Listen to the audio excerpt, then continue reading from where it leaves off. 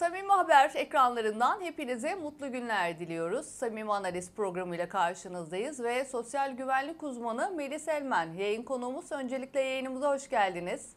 Hoş bulduk. Merhabalar, iyi yayınlar dilerim.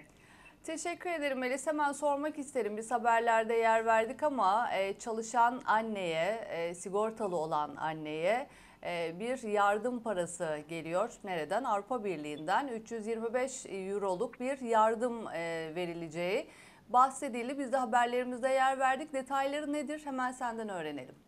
Evet dediğiniz gibi e, Avrupa Birliği'nin bir finansman projesi aslında bu. Sosyal Güvenlik Kurumu ile birlikte yürüttükleri.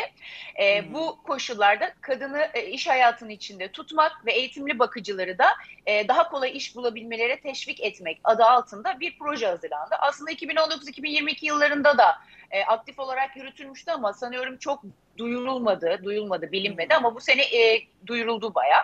E, bu şartları aslında şu şekilde sıralamak daha doğru olur.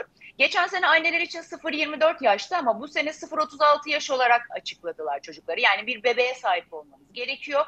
Sigortalı olarak çalışan bir anne olmanız gerekiyor. Aynı zamanda yanınızda sigortalı ve eğitimli bir bakıcı çalıştırıyor olmanız gerekiyor. Yani sadece sigortalı çalışan bir anne olmanız yeterli olmuyor. E, mutlaka yanınızda eğitimli yani Milli Eğitim Bakanlığı sertifikası gibi bir onaylı sertifikayla sahip bir bakıcıyı çalıştırıyor olmanız gerekiyor. Aynı zamanda sadece bakıcı olarak başvuracak olanlarda da mutlaka eğitim sertifikaları olmaları olmaları gerekiyor. Yani bu e, işte benim çocuğuma teyzem bakıyor, annem bakıyor, babaannesi bakıyor. E, işte ben ona da bakıcı yardım alayım, kendime de alayım olmuyor maalesef. En önemli şart bu. Tekrar altı sigortalı olarak çalışırken hmm. yanında da eğitimli ve sigortalı bir bakıcı çalıştırması gerekiyor. Yani burada amaç hem anneyi iş hayatında tutabilmek hem de eğitimli bakıcılara daha rahat e, iş imkanı bulmalarını sağlayarak iş hayatına dahil etmek aslında. Tamamen projenin ana amacı bu. E, bu aslında biz haberlerde görürken sanki evden çalışan anneler için de bir böyle sanki öyle algılatılıyor haberlerde ama öyle değil. Normal işe gidip gelenler için de geçerli bu değil mi? Tabii tabii zaten mutlaka e, sigortalı olarak işe gidip gelmesi ya da sigorta olarak evden çalışıyor olsa bile yanında sigortalı bir çalışanı olması gerekiyor, bakıcısı olması gerekiyor. Bu 12 ay boyunca alınacak bir ücret. Ama mesela siz e, çocuğunuz e, 35 aylık başvurdunuz diyelim buna. 36. ay çocuk gelince kesilecek gene bu ödenek. Yani çocuk 0-36 ay içindeyken bu ödemeyi alabiliyorsunuz. E, o yüzden hani e, bununla ilgili ben daha önce de konuştuğumda çok fazla zaten yanlış anlaşılma var. Herkes alabileceğini zannediyor. Torununa bakan bile ben buna başvurayım demeye çalışıyor. Ya da işte annelik artık çok kolay devlet yardım ediyor demeye çalışıyorlar ama bu bir projedir. Bir proje olduğu hmm. için e, sadece zaten sınırlı sayıda 3500 e, anne 3500 bakıcı olarak İstanbul, İzmir ve Ankara ikamet şartı aranarak sadece toplamda 7000 kişiye ödenecek bir tutar bu. Ee, ve İstanbul, İzmir, Ankara. Bu üçü de ikamet etmeniz gerekiyor.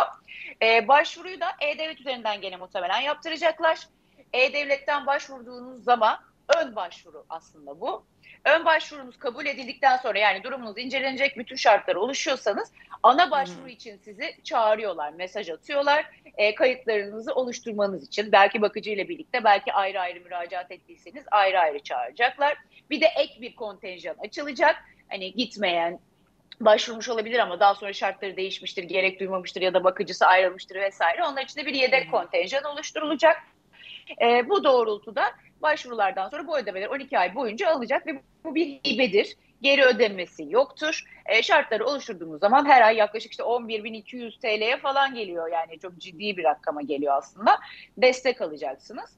Böylece hem bakıcınızı bir süre e, daha rahat e, yanınızda çalıştırabileceksiniz, sigortasını Hı. ödeyebileceksiniz. En azından sigortasını zaten karşılıyor. Yani şu an en düşük sigorta 7500 lira falan. Yalnız şu da Hı. ayrı bir detay. E, kişinin yanında çalışan bakıcısı tam gün olarak ayda 30 gün olarak çalışıyor olması gerekiyor ki ona göre e, ödeme Hı. veriliyor.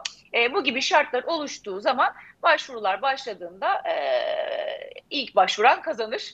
Çünkü kayıt sırasını otomatik verecek sistem e, ve kayıt sırasına Hı. göre e, başvurular incelenecek.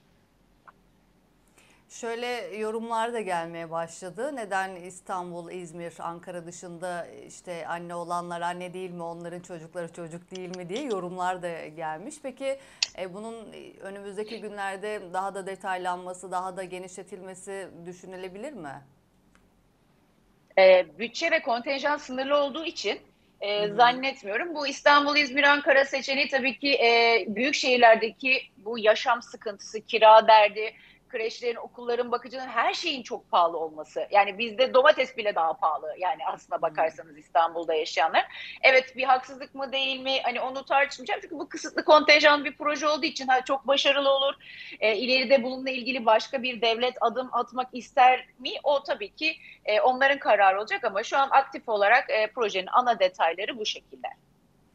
E, Bir kez daha senden rica edeceğim detaylandırman için. Annelere destek e, projesinden yararlanmak için nereye başvurulması gerekiyor?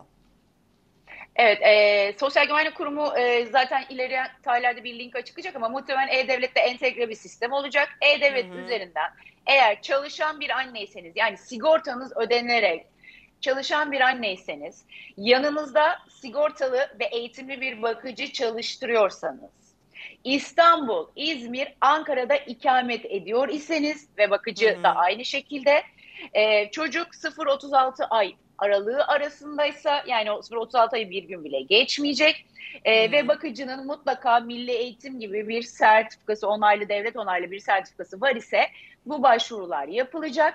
İlk ön başvurudur. E-Devlet üzerinden yapılacak olan daha sonra mutlaka E-Devlet'teki numaraların güncel olduğunu bilsinler. SMS ile bilgilendirilecekler. E, Hı ana hı. kayıt için e, çağrılacaklar e, ya da ek kontenjanı alındıkları bildirilecek ve ondan sonra eğer şartlarda uyduğu kesinleşirse her ay 325 euro ödeme alacaklar. Hatta geçen sene özel bakıma e, muhtaç çocuğu olan ailelere e, 50 euro fazladan bir ödeme yapıldı. E, Hı. o, da olma ihtimali var. Bunu da mutlaka belirtmeleri gerekiyor. Bu şekilde 12 ay boyunca bir ekonomik destek sağlanmış olacak. Peki çok teşekkür ederim verdiğin bilgiler için. Eklemek istediklerim varsa onları da alalım. Yok, teşekkür ediyorum. Şimdilik bekliyoruz başvurular için. Peki çok teşekkür ederim. Sosyal güvenlik uzmanı Melis Elmen bizlerleydi. Burada noktalıyoruz. Bir sonraki programda yeniden görüşmek dileğiyle. Hoşçakalın.